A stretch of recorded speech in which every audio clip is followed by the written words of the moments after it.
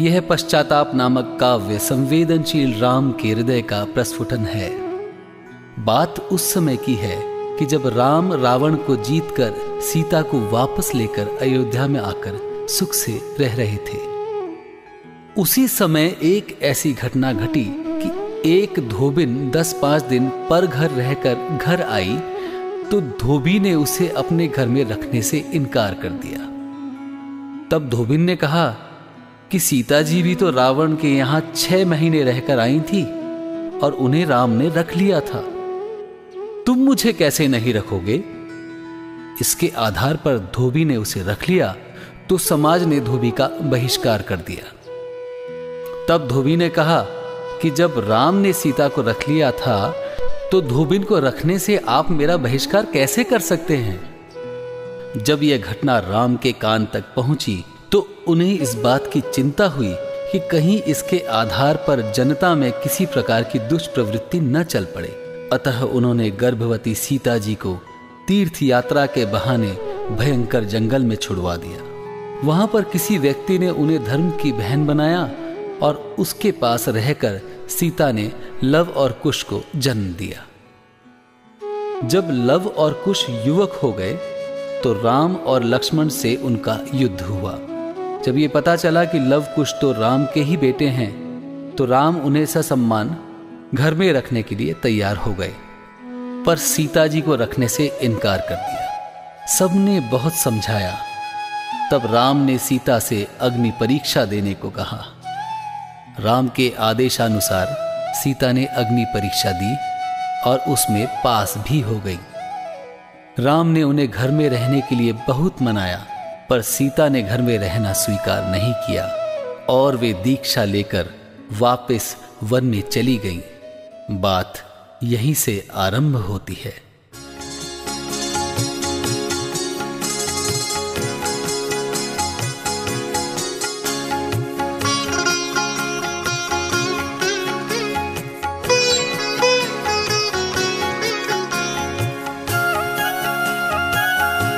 प्रथम धर अरहंतों का ध्यान और कर जिन वाणी गुणगान। सदा चरणों में नित अमलान किया जिन जिन ने जीवन दान। नमन कर उन गुरुओं को आज राम के मन की गहरी छाप। राम के अंतर का आताप, राम के मन का पश्चाताप। राम के मन का पश्चाताप सती सीता का यह अनुताप। कहूँ कैसे किन शब्दों में प्रजा के मन का यह संताप। समाई सीता रग रग में बस रहे रग रग में श्री राम करूँ मैं वंदन अभिनंदन रमोनित अपने आत्म राम। प्रजा से सुन लांछन की बात किया यदि रामचंद्र ने न्याय। हुआ पर जनक सुता के साथ महा अन्याय महा अन्याय। हो परीक्षा आज खड़ा था पूरा वध समाज। शील ने रखी सती की लाज, प्रेम से व्याकुल थे रघुराज। सोचते थे मन में रघुवीर खड़े थे जैसे हो तस्वीर। मनीषा करती तर्क, वितर्क हो रहे थे वे बहुत अधीर। मुझे था भय की मोह में आज प्रजा के साथ न हो अन्याय। इन्हीं संकल्प विकल्पों में हो गया यह कैसा अन्याय? हो गया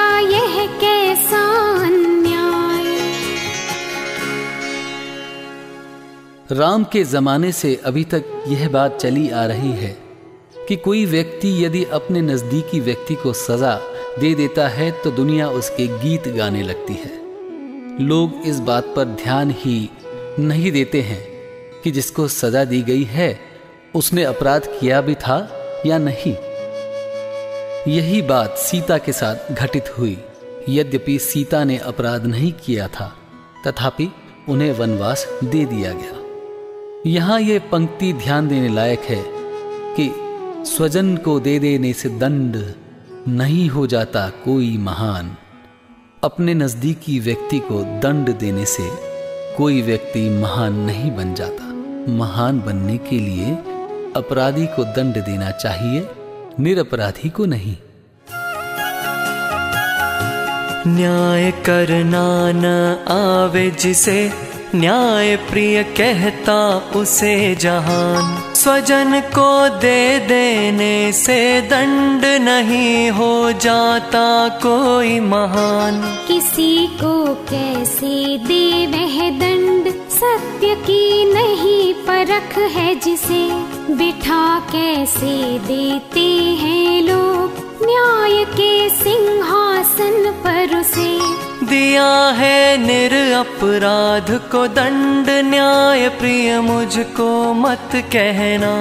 न्याय है यह अथवा अन्याय, न्याय है मुझे आज सपना। प्रजा जन में कैसा ज्ञान भरा है हे मेरे भगवान। चुने चाहे जिसको नेता नहीं जो उचित दंड देता। किंतु है यह कसूर किसका? हमारा अथवा जनगण का। उन्होंने अपराधी को चुना किंतु मैं क्यों कहने से बना? हमारा ही है इसमें दोष हुआ जो जाने अनजाने। पहचाने नहीं हम अपने को जाने। जा रही वैदेही वन में राम उद्विग्न हुए मन में। करे क्या समझ नहीं आवे राम सोचे मन ही मन में। उदर में था लब कुश जोड़ा तभी निर्जन वन में छोड़ा। प्रथम मैंने नाता तोड़ा। आज उसने मुखड़ा मोड़ा। नहीं मैं जाने ना दूँगा। आज मैं उसको रोकूँगा। सगद गद बोले, राम नरेश, रुंधा था कंठ गिराने शेष। न मैंने तुमको पहचाना, मुझे शोकानल ने घेरा। सुनो अपराधी हूँ सीते, करो अपराध क्षमा मेरा। करो अपराध क्षमा मेरा, करो अपराध क्षमा मेरा। जब राम इस तरह क्षमा मांगने लगे तो सीता ने कहा इसमें आपका कोई दोष नहीं है। मैंने पिछले भवों में कोई भयंकर अपराध किया होगा। उसके फल में मुझे यह दंड मिला है।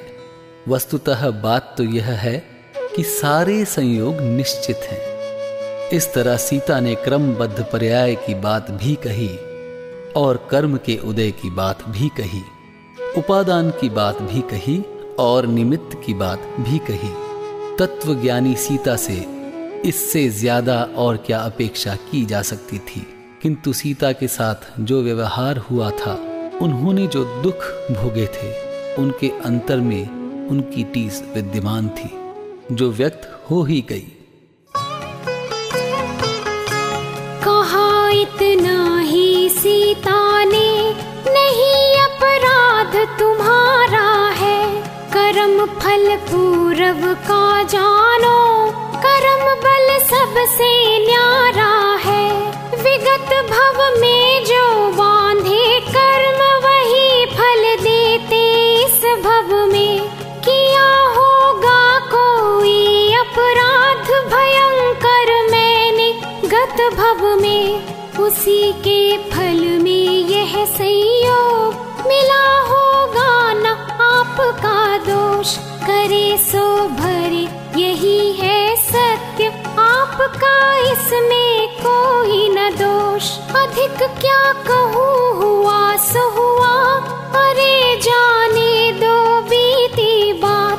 परंतु अब ऐसा कुछ करे, न हो वे फिर ऐसा घात। आप ना करी विकल्प विशेष। सभी कुछ निश्चित है, संयोग। बात बस इतनी है, हे नाथ मिला देते सत का संयोग, मिला देते सत का संयोग।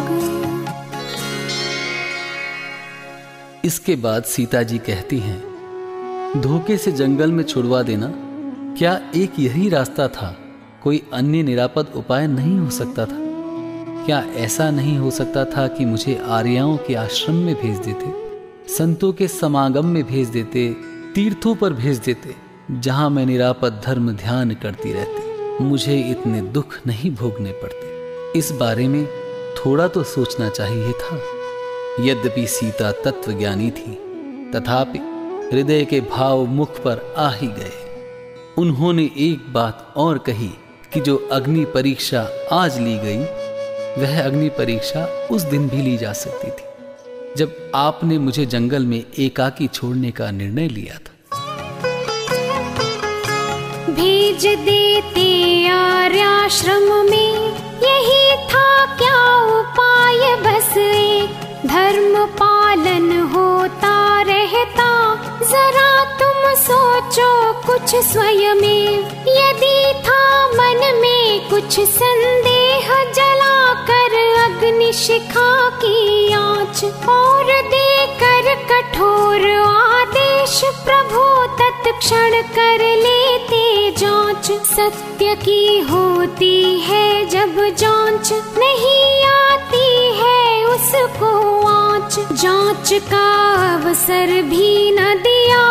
किया क्यों यह असीम अन्याय?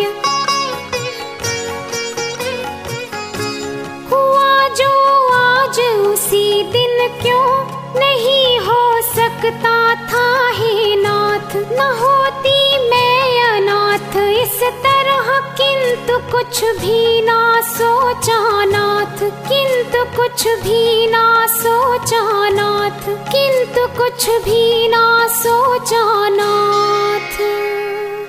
इस तरह अपनी पीड़ा व्यक्त करने के बाद सीता जी कहती हैं, मुझे छोड़ा तो छोड़ा, मुझे छोड़ने से आपको थोड़ी बहुत तकलीफ़ हुई होगी, पर यदि दुनिया के कहने से धर्म को छोड़ दोगे तो अनंत भवों में अनंत दुख भोगने पड़ेंगे।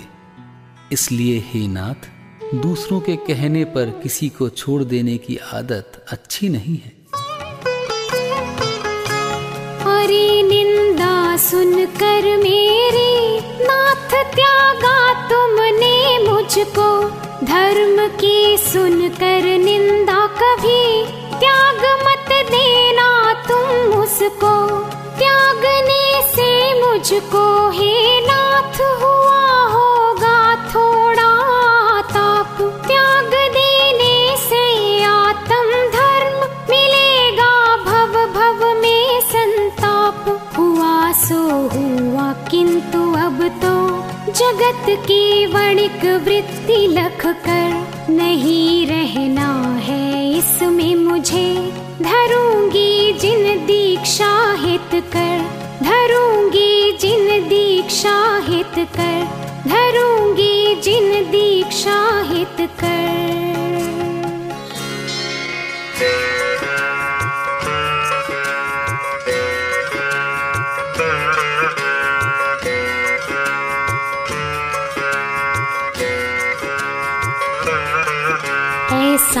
कह जनक सुता, चल दी माँ। माँ कह लव कुश चिल्लाए। वे रुंधे गले से बोले, हे माँ, हमें छोड़ कर क्यों जाए? हमने क्या किया दोष जननी, जो हमें छोड़ कर तुम जाती? हम रहे सदा ही आज्ञा में, क्यों कर हमको तुम बिसराती? सौमित्र भरत भी आ पहुँचे, शत्रुघ्न खड़े थे सिर नाए। लौटो लौटो हे जग जननी, क्यों हम पर नहीं दयाए? यह सुनकर सीता देवी मृदु स्वर में धीरे से बोली, नाते रिश्ते सब झूठे हैं, इनमें उलझी दुनिया भोली। ना तू का ताप न तपना है, नाते ना मुझको अब भाए। नाते ही जग के बंधन है, ये सभी जगत को भरमाए जन को निहार जग मरता है, फिर बार बार देखा करता। मुझको निहार लंकेश मरा तप धारेगी अब जनक सुता। यह कहकर फेरी नेत्र किरण, मानो सूरज की किरण मुड़ी। निर्जन जंगल की ओर बढ़ी थी, देख रही सब मही खड़ी। थी, देख रही सब मही खड़ी। थी, देख रही सब मही खड़ी। जैन मान्यता अनुसार सीता जी ने पृथ्वीमती नामक आरिका से व्रत स्वीकार किए थे। और वैदिक संस्कृति में माना जाता है कि सीता जी पृथ्वी में समा गई थी। यहाँ पर कल्पना की गई है कि पृथ्वीमती आरिका के पास उन्होंने दीक्षा ली और वे उनमें ही, उनके आश्रम में ही समा गई। इसी वजह से दुनिया कहने लगी सीता जी पृथ्वी में समा गई।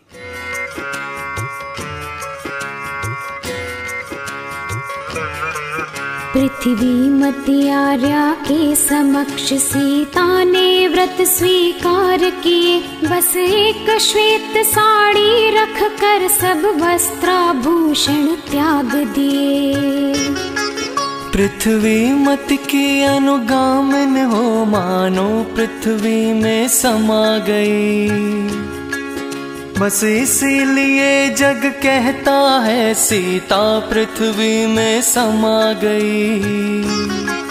देहांत समय तो सबका तन मिट्टी में ही मिल जाता है, सीता देवी कोमल तन भी मिट्टी में मिल जाता है। है अरे नयापन इसमें क्या मिट्टी मिट्टी में समा गई? सीता माता का शुद्धातम तो शुद्धातम में समा गया। जन जन की आँखें भर आई पर रोम रोम हो गए खड़े। सीतेश प्रभु की आँखों से टप टप दो आँसू टपक पड़े। वे आँसू थे या मुक्तमणि या राम हृदय परिचायक थे। या प्रेम लता सिंचक जल थे घनश्याम राम के द्रावक थे। या सीता प्रेम विसर्जन था, या श्रद्धांजलि का अर्पण था। दो मोती राम के मानस के, सीता को आज समर्पण था। अब थे विचारते राम, अहो क्या जीवन जनता का मन है।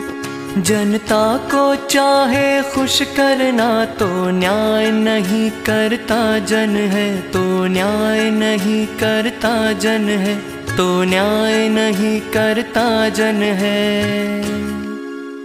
इस तरह राम ने अश्रुपुरित आँखों और रुंधे कंठ से सीता को विदाई दी। सीता के चले जाने के बाद राम गंभीरता से विचार करने लगे। वे सोचते हैं कि रावण ने उनका अपहरण किया। इसमें उनकी क्या गलती थी? यदि वे रावण के घर रहीं और हम उन्हें छह महीने तक नहीं छुड़ा पाए तो इसमें सीता की क्या गलती थी? उन्हें छुड़ाकर हम घर ले आए। उन्हें अपने घर में रखा। इसमें सीता की क्या गलती थी? गलतियाँ हमारी थी और दंड उन्हें भोगना पड़ा।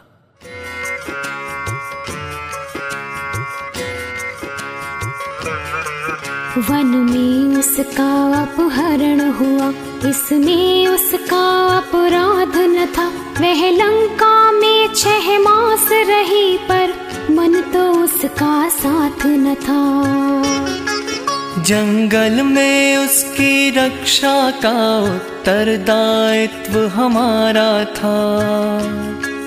इसमें उसका था क्या कसूर? उसने तो हमें पुकारा था। पर हमने इसके बदले में उसको निर्जन वनवास दिया। क्या यही न्याय है रामचंद्र? हमने इसमें क्या न्याय किया? जननायक तो उसको कहिए जो न्याय तुला पर तोल सके। जनता के मन को ना देखे, बस न्याय नेत्र ही खोल सके।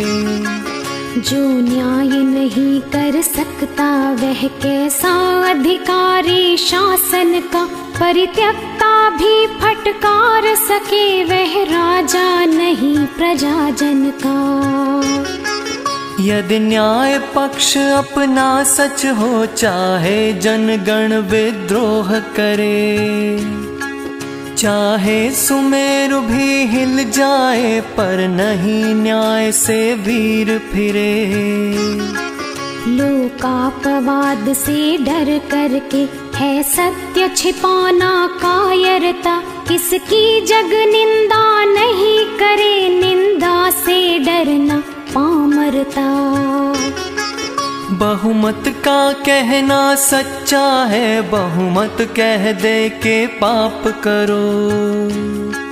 क्या पाप न्याय कहलाएगा तो दीनहीन असहाय मरो। सीता सतीत्व में शंका थी तो क्यों उसको मैं घर लाया? सीता यदि परम पुनीता थी तो क्यों जनमत से घबराया? जनता क्या जाने सीता को? शायद उसको विश्वास न हो। मुझको था जब पूरा यकीन, क्यों मुझको अब संताप न हो? सीता सतीत्व का जनता को विश्वास दिलाना था मुझको, जो अग्नि परीक्षा आज हुई, स्वीकृत होती उस दिन उसको, स्वीकृत होती उस दिन उसको, स्वीकृत होती उस दिन उसको।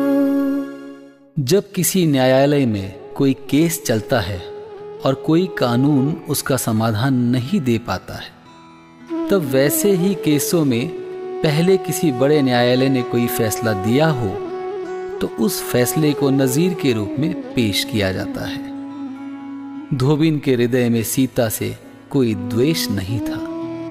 उसने सीता पर कोई आरोप नहीं लगाया था। वह तो स्वयं संकट में थी। उसका तो घर उजड़ रहा था। वह तो घर में रहना चाहती थी, धोबी का भी घर उजड़ रहा था। उन्होंने जो कुछ किया, वह सब अपने बचाव के लिए ही किया। सीता या राम के विरोध में कुछ नहीं किया। इसलिए रामचंद्र जी कहते हैं कि मेरे हृदय में उनके लिए कोई रोष नहीं है। बात यह है कि सीता रावण के घर में रही थी। और उसे अपने घर में रखना। यदि अपराध है तो वह अपराध मैंने किया, क्योंकि मैंने ही उसे लाकर घर में रखा था। वह ज़बरदस्ती नहीं आई थी। उसका दंड मुझे मिलना चाहिए था, लेकिन हमने दंड जानकी को दिया। कोई महिला किसी दूसरे के घर में अपनी मर्ज़ी से महीनों रहकर आई है, या उसका अपहरण हो गया है और उसे ज़बरदस्ती रखा गया है। ये दो घटनाएँ बिल्कुल अलग अलग हैं। सीता को ज़बरदस्ती रावण के यहाँ ले जाया गया था। इसलिए धोबिन के उदाहरण को भी ज़बरदस्ती ले जाई गई धोबिन मानना पड़ेगा। तभी तो उसकी सीता के साथ तुलना होगी। यदि हम ये माने कि धोबिन तो अपनी मर्ज़ी से गई थी तो सीता के साथ उसकी तुलना नहीं हो सकती। क्योंकि दोनों घटनाएँ समान नहीं हैं। इतनी सी बात इतने बड़े न्यायाधीश नहीं समझ पाए। यह कल्पना से बाहर की बात है। और यदि दोनों ही ज़बरदस्ती ले जाई गई थी तो क्या ज़बरदस्ती ले जाई जाने वाली महिला के साथ ऐसा व्यवहार किया जाना चाहिए? इस बात पर वे गंभीरता से विचार कर रहे हैं। और अपनी गलती स्वीकार कर रहे हैं।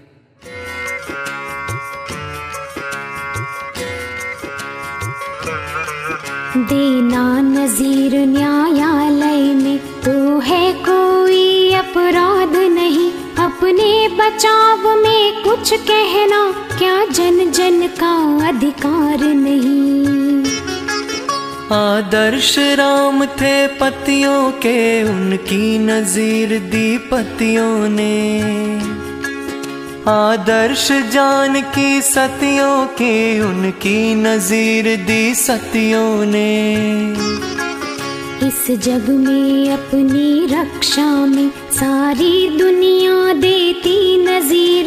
धोबिन ने अपनी रक्षा में सीता की दी थी बस नजीर। आरोप जान की देवी पर उसने तो नहीं लगाया था। उसने तो घर में रहने का अपना अधिकार जताया था। हम धोबिन को बदनाम करें, इसमें उसका कुछ दोष नहीं। उस पर भी था संकट भारी, सीता पर कोई रोष नहीं। सारा अपराध हमारा है, धोबी धोबिन का दोष नहीं। कह रहे, राम मेरे मन में धोबी, धोबिन पर रोष नहीं। रावण के घर में रही हुई सीता देवी को वर्षों तक रखा था सादर मान सहित हमने ही तो अपने घर में घर में रखना अपराध, यदि तो यह अपराध हमारा है। पर दंड जान की को देना, कैसा यह न्याय हमारा है? कैसा यह न्याय हमारा है? कैसा यह न्याय हमारा है? अब रामचंद्र जी और गहराई से सोचने लगे हैं। कि हमने जो कुछ किया है, उसका जगत पर क्या असर पड़ेगा? क्या हमने जगत को यह संदेश नहीं दिया है कि जो भी सीता जैसी नारी हो, उसे जंगल में छुड़वा देना चाहिए?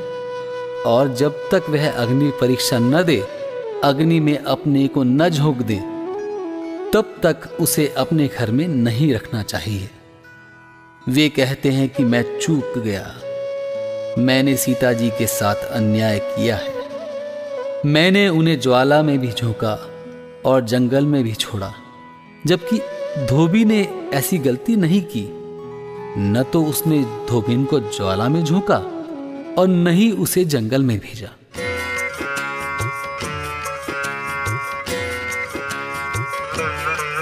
तो हमने नहीं दिया है क्या? ऐसा संदेश जगत जन को छुड़वा दे जन निर्जन वन में एकाकी ऐसी नारी को। छुड़वा कर सीता देवी को, जंगल में हमने धोबी को। मानो चैलेंज किया, अब तुम जंगल में छोड़ो धोबिन को। हमने झोंका निर्दय होकर सीता देवी को ज्वाला में, अब तुम भी क्यों हो उदासीन धोबिन को झोंको ज्वाला में? पर अग्नि परीक्षा बिन घर में रख कर धोबी ने न्याय किया। पर मैंने सीता को तज कर अन्याय किया अन्याय किया। अब क्यों मुझको संताप न हो? केवल मैं ही अपराधी हूँ। हे शोकानल, तू जला मुझे, मैं इसी सजा का भागी हूँ। हे विधि मैंने अन्याय किया, पर तू अन्याय नहीं करता। विकराल अग्नि की ज्वाला को सज्जित सरवर क्यों नहीं करता? मेरे अपराध दंड में भी तू अरे देर क्यों करता है? तू खूब जला शोकानल मेरे बंधु दया क्यों करता है? मैं शोकानल में जल जल कर निष्कीट सुवर्ण खरा हूँगा जितना जल सकूँ जलू है विधि, पर जन भय पूर्ण जला दूँगा।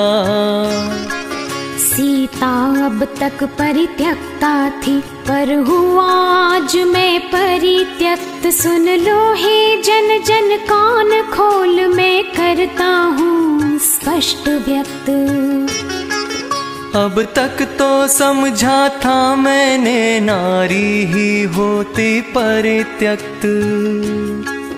अन्याय देख कर पतिवर का हो जाती वह नर से विरक्त। नारी का यह वैराग्य प्रेम कर देता, नर का बहिष्कार जिसको जग कहता है, अबला सबला हो जाती शीलधार। नर जीता हर दम नारी से रखता है उस पर स्वाधिकार। कर्तव्य मुखी नारी पाकर कर्तव्य विमुख नर गया हार। कर्तव्य विमुख नर गया हार। कर्तव्य विमुख नर गया हार। इस प्रकार अपनी हार स्वीकार करने के बाद रामचंद्र जी कुछ पिछली बातें याद करते हैं और सोचते हैं कि देखो, परिस्थितियाँ कितनी बदल गई हैं। एक दिन वह था जब मैं सीता को समझाता था और आज यह दिन आ गया है कि सीता मुझे समझाती हैं।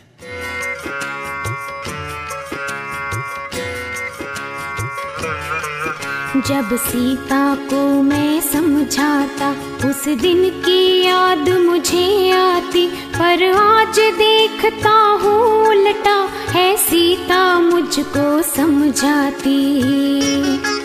नर नारी से पैदा होता, उससे पाता है नेह मान पर अहंकार से भरा स्वयं जग जननी का करता अपमान नारी क्या क्या ना कर सकती? करता हो जिसका नर महान। दोनों होए जब कर्म वीर तब जग होता आदर्शवान। नारी कोमल को कोमल है, पर निष्ठुर को निष्ठुर महान। नर के अनुरूप रही नारी जाना मैंने नारी विधान। राजा की नारी रानी है तू महाराजा की महारानी। नट की नारी को नटी कहे मिश्रा की नारी मिसरानी दर्जी की नारी दर्जन है तो सेठ की नारी सेठानी। ठाकुर की नारी ठकुराइन मैं तर की नारी मित्रानी। मुझसे निर्मोही की रानी, होवेगी निश्चय निर्मोही। सीता का है अपराध नहीं, नर होता जो नारी सोही। नर होता जो नारी सोही, नर होता जो नारी सोही। अब रामचंद्र जी सोचते हैं कि पहले मैंने उसे छोड़ा था। अब वह मुझे छोड़कर चली गई। लेकिन दोनों के छोड़ने में कितना अंतर है। मैंने तो उसको असहाय, अकेली जंगल में छोड़ा और वह मुझे भाई बंधुओं के बीच में छोड़कर जा रही है।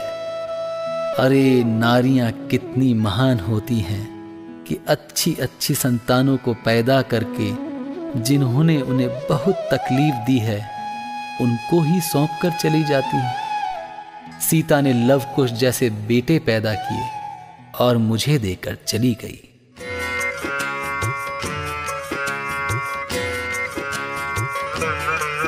छोड़ा था सीता को मैंने असहाय अकेली कानन में मुझको सबंधु वह छोड़ चली। क्या मृदुता है नारी जन में नारी कितनी है त्यागशील नर रत्नों को पैदा करके।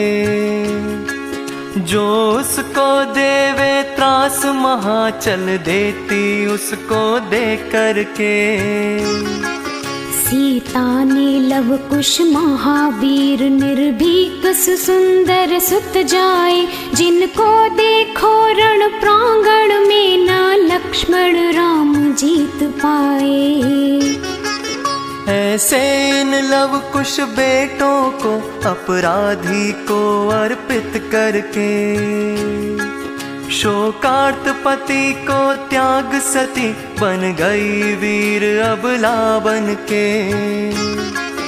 कई भगवन का अपवाद करें, पर उनको त्याग न देंगे हम। यदि निंदक साधु को निंदे तो क्या असाधु कह देंगे हम? सज्जन सज्जन ही रहे, किंतु हम ही दुर्जन कहलाएँगे। कोआ को से यदि शतक बार तो नहीं पशु मर जाएँगे तो नहीं पशु मर जाएँगे तो नहीं पशु मर जाएँगे। रामचंद्र जी बहुत गंभीरता से इस बात पर विचार करते हैं। कि यदि सारी दुनिया मेरा अपवाद करती तो क्या जानकी मुझे छोड़कर जंगल में चली जाती अथवा मुझे वनवास दे देती? यदि वे ऐसा नहीं करती तो मैंने जो किया, क्या वह समझदारी का काम है? इस जगत में ऐसा कौन व्यक्ति है, जिसकी कोई आलोचना न करता हो? ऐसा कौन दर्शन है, धर्म है, जिसके आलोचक इस दुनिया में न हो? आलोचना सुनकर क्या हम सभी दर्शनों को छोड़ देंगे? सभी महापुरुषों को छोड़ देंगे और प्रशंसा सुनकर चाहे जिसको अपना लेंगे?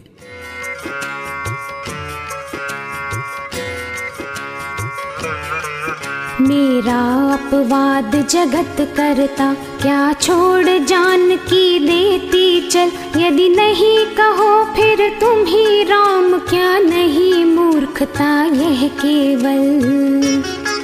जिसका आलोचक कोई न हो, ऐसा दर्शन या महापुरुष।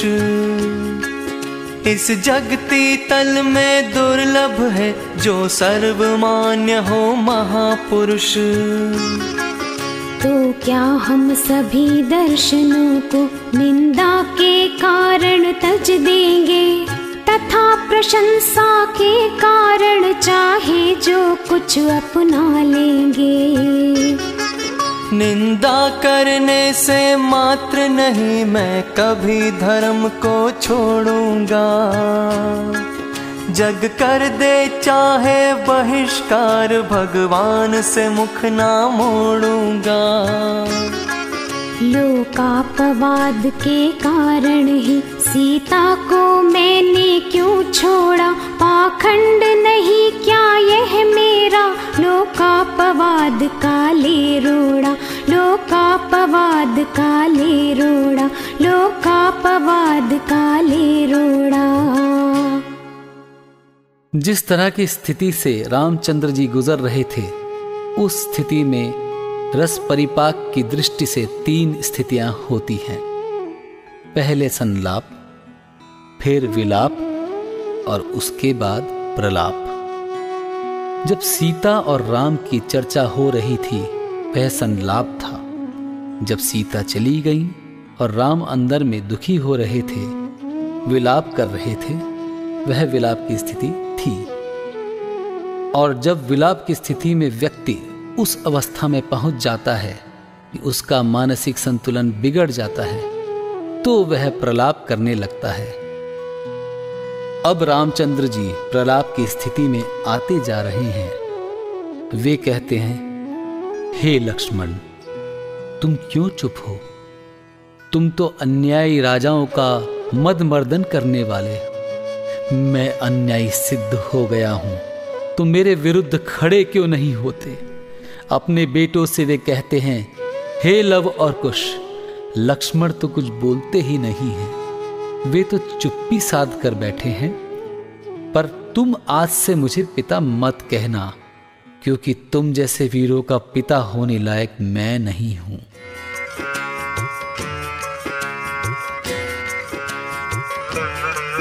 चुप क्यों हो आज सुनो लक्ष्मण? धिकारो मुझको बार बार अन्यायी भूपति को पाकर, करते क्यों ना तुम? असी प्रहार। तुम तो अन्यायी नृपगण का मद मर्दन करने वाले हो। पर आज हो गया क्या तुमको जो चुप्पी साधे बैठे हो? मैं नहीं तुम्हारा भाई हूँ मैं हूँ अब अन्यायी नायक अन्यायी के अपराध दंड के हेतु चलाओ तुम शायक। पर आज दया क्यों करते हो? तुम समझ मुझे अग्रज भ्राता। यह पक्षपात क्या नहीं? अनुज अन्याय से तोड़ो नाता। मेरे बेटे सीता सपूत, सुन लो तुम मेरी एक बात। लक्ष्मण तो कायर हुए, किंतु मुझको मत कहना कभी तात। मैं अन्यायी क्या कहलाऊं? ऐसे वीरों का पिता आज।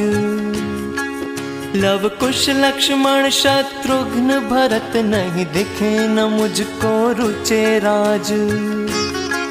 सब सूना सूना लगता है, प्रासाद खंड हर से लगते, अमृत भी विष सा लगे, आज सब भोग व्याल सम है डसते। सीते तुमसे ही पूछ रहा, निर्दय कहूँ अथवा सदये। माना मेरा ही है कसूर, क्या क्षम्य नहीं अपराध प्रिय?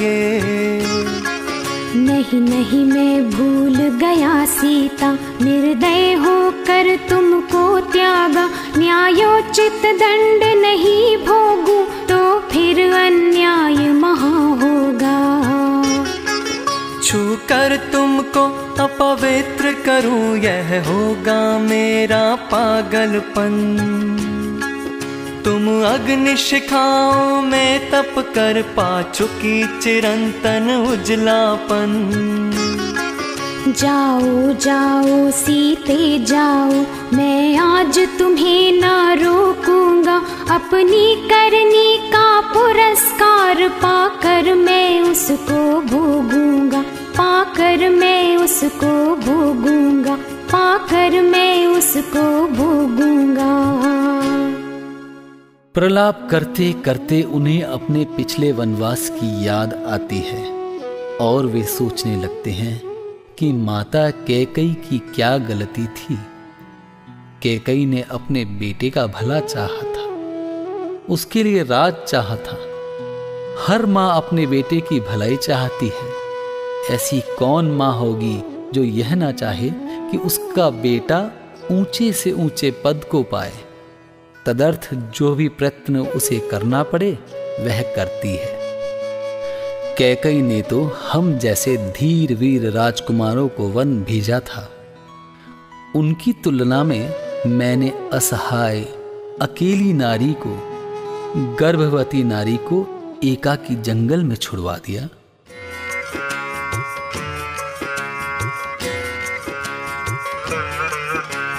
कई ने वनवास दिया था। धीर वीर नर को पाकर उसको दुष्टा निर्दया कहे, जो नर रत्नों की रत्ना कर। जिसने वैरागी भरत राज से वीर सुसुंदर सुत जाए, पर पुत्र प्रेम में अंधी होकर विगत धरोहर वर पाए। मैंने अबला अनुगामिन को एकाकी जंगल में छोड़ा। कर्कश शब्दों का है अभाव, जो कुछ कह दो मुझको थोड़ा। जो कुछ कह दो मुझको थोड़ा। जो कुछ कह दो मुझको थोड़ा। अब वे सोचते हैं कि जब मैंने शीलवती सीता जी की अग्नि परीक्षा ली तो मुझे भी अग्नि परीक्षा देनी चाहिए। इस तरह वे स्वयं अग्नि परीक्षा देने को तैयार हो जाते हैं और कहते हैं कि सीता जी का कुंड तो ज़मीन में था, मेरा कुंड मन मंदिर में होगा। सीता जी के उस कुंड में सूखा काष्ठ भरा था। और मेरे इस कुंड में मेरा शरीर ही जलने को तैयार होगा। सीता के कुंड में तो अग्नि लगाई गई थी और उनका तो अग्नि का जल हो गया था। मैंने भी मन में शोकाग्नि लगाई है और आँखों से आँसू की बूंदे बरस गई हैं। इस तरह सीता जी ने जिस प्रकार अग्नि परीक्षा देकर अपनी पवित्रता दिखाई थी उसी प्रकार मैंने भी दिखा दी। वे आगे कहते हैं कि, हे सीता, मैंने तेरी पवित्रता का प्रमाण पाया था तो तुझे अपनाना चाहा था। अब तुमने मेरी पवित्रता का प्रमाण प्राप्त कर लिया है तो मुझे क्यों नहीं अपनाती हो? इस तरह वे प्रलाप कर रहे हैं।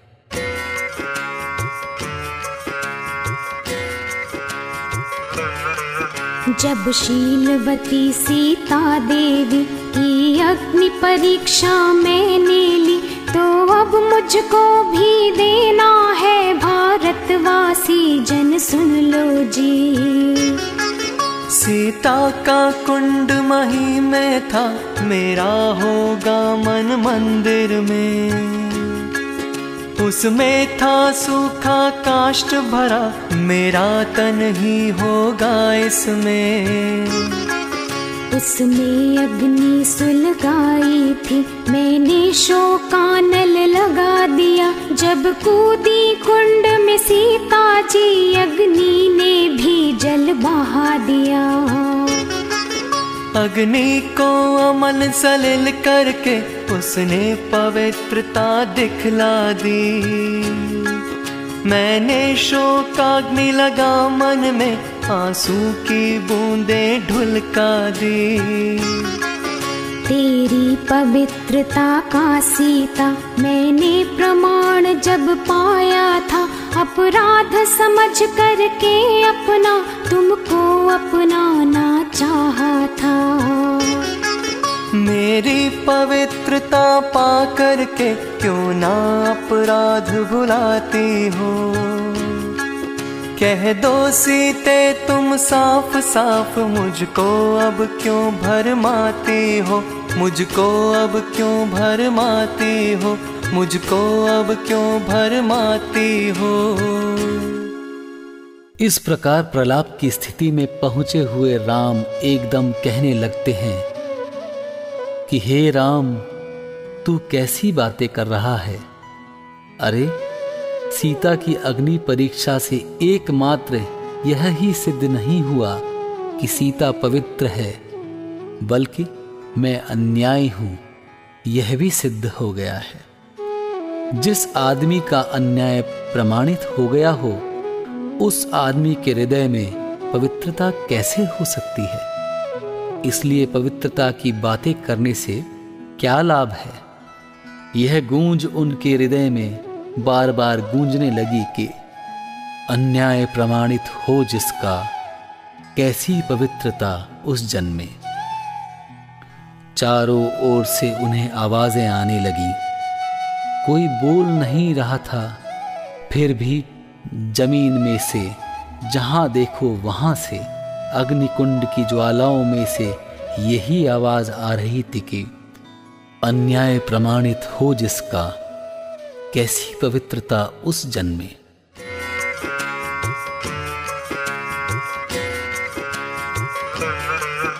हे राम राम, तू बता राम, क्या सोच रहा है तू मन में? अन्याय प्रमाणित हो जिसका, कैसी पवित्रता उस जन में श्री राम रामचंद्र हृदय स्थल में, यह गूंज उठे प्रति छिन छिन में।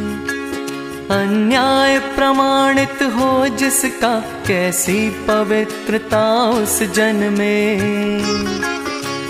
दिग दिगंत में गूंज उठे, अर गूंज उठे सारे नभ में। अन्याय प्रमाणित हो जिसका, कैसी पवित्रता उस जन में। रे अग्नि कुंड के ज्वालाओं के स्वर में थी आवाज़ यही। कह रही पग तले पड़ी हुई जगथात्री यह पार्थिव्य मही। जिस तरफ़ नेत्र उनके जावे, वे यही देख बस पाते हैं। अन्यायी राजा को पाकर निर्दोष सताए जाते हैं। लिखने वाला है नहीं, कोई अक्षर भी नहीं दिखते थे। पर बाच रहे थे रामचंद्र, कहते बस सीते सीते थे, कहते बस सीते सीते थे, कहते बस सीते सीते थे। अंत में वे कहते हैं कि फैसला तो हो ही गया है कि सीता निर्दोष है और मैं दोषी हूँ। अब तो बात दंड विधान की है, इसलिए वे कहते हैं कि हे जनता के लोगों, आज तक तुम मुझे आगे और सीता को पीछे याद करते रहे हो। लोक में भी ऐसा ही होता है कि पति आगे चलता है और पत्नी पीछे पीछे। जब शादी होती है तो शादी के छह फेरों में पत्नी आगे होती है और पति पीछे। और सातवें फेरे में पति आगे होता है और पत्नी पीछे। ऐसा लगता है कि जैसे पत्नी की जीत हो गई हो, क्योंकि वह छह फेरों में आगे रही। लेकिन भाई, उसका अर्थ यह है कि छह फेरों तक आदमी औरत के पीछे चक्कर काटता है और छठवें के बाद औरत आदमी के पीछे चक्कर काटने लगती है। यह मात्र एक फेरे की बात नहीं है, बल्कि अब सारे जीवन भर पत्नी को पति के पीछे जाना है। राम कहते हैं कि अब मैं जनता से अनुरोध करता हूँ कि जब आपस में मिलो तो बोलना सीता राम। सीता को पहले याद रखना और मुझे बाद में।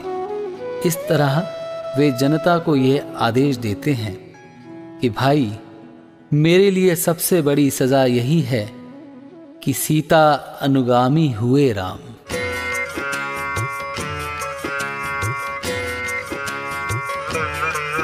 सीता निर्दोषी सिद्ध हुई।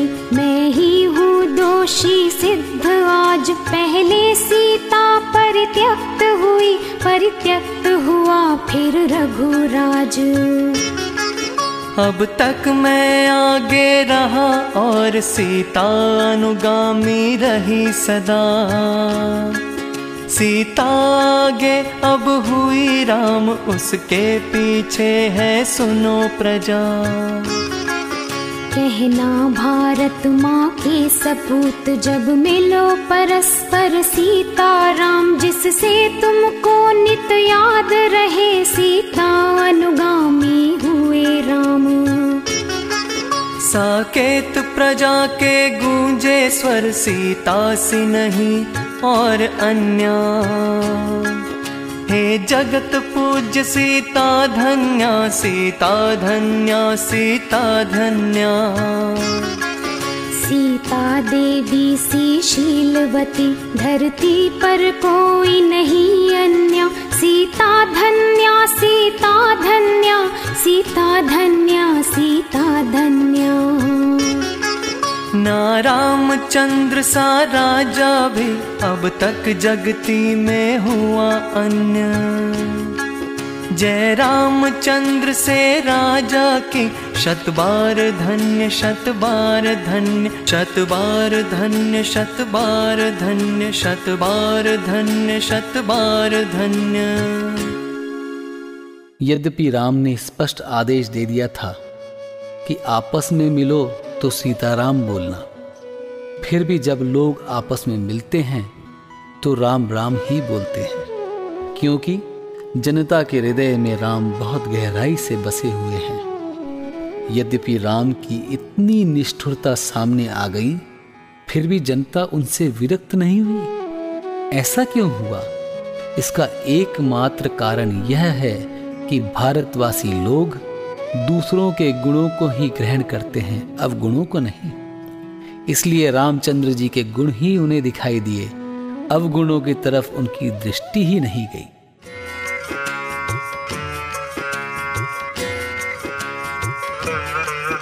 इस पृथ्वी तल की जनता के है रोम रोम में रमे राम रग रग में समाहित है सीता। पर कहते हैं सब राम राम।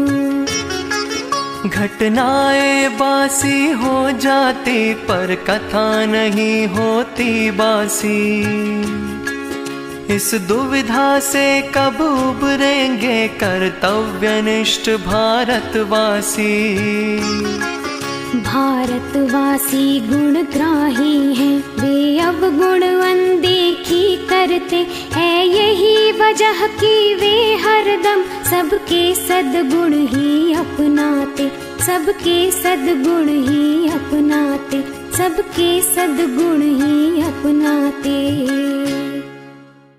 इस तरह इस काव्य में राम के निष्ठुर हृदय को नहीं, बल्कि संवेदनशील हृदय को प्रस्तुत किया गया है। यद्यपि राम भी जैन दर्शन में भगवान महावीर के समान अरहंत बने और मोक्ष गए हैं, इसलिए वे 24 तीर्थंकरों के समान ही पूज्य हैं। लेकिन जैन दर्शन की विशेषता यह है कि वह किसी को राज्यावस्था में भगवान स्वीकार नहीं करता। अरहंतावस्था को प्राप्त होने पर ही भगवान मानता है।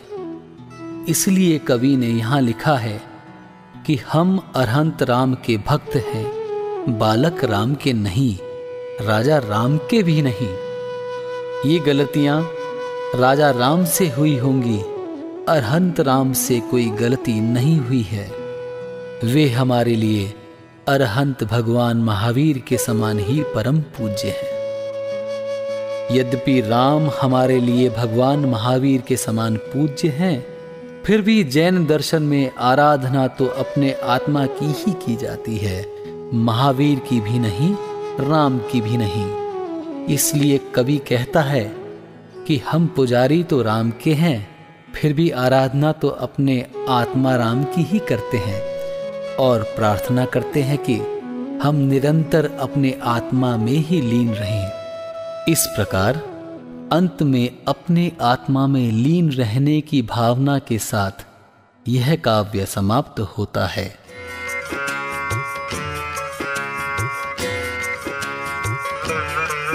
हरिहंत राम के परम भक्त, हम आत्म राम के आराधक। जिन वाणी सीता के सपूत, भगवान आत्मा के साधक। भगवान आत्मा के साधक ध्रुव धाम आत्मा के साधक निज आत्म में ही रहे लीन है यही भावना भवनाशक। है यही भावना भवनाशक। है यही भावना भवनाशक